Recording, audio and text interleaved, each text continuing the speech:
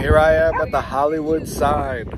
Oh man, I could cross this off my bucket list as a dream come true.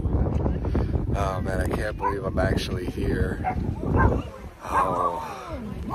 Man, just look at this.